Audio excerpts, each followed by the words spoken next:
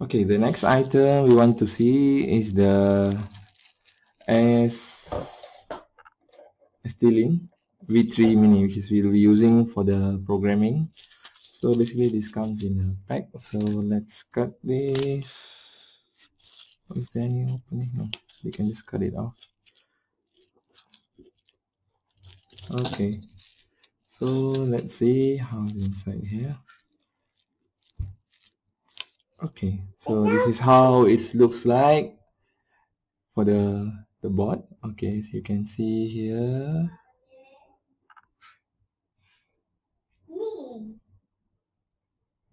This is the board. Okay. Right. You can see here. So actually I was thought I was thinking like they provided a case for the STWIN but not casing but while going through their resources I found that they provide the 3D print file, which is an STL file for the for this one. So actually, I already have 3D print it uh, for this one. Okay, so that's how it looks like.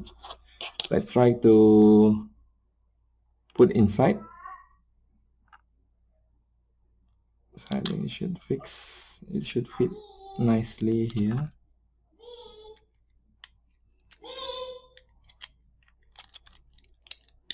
yeah it fits nicely inside this casing.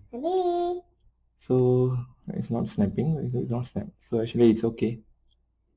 So now we are ready to go. So as I said now next will be to run the uh, first our sample code. Okay thank you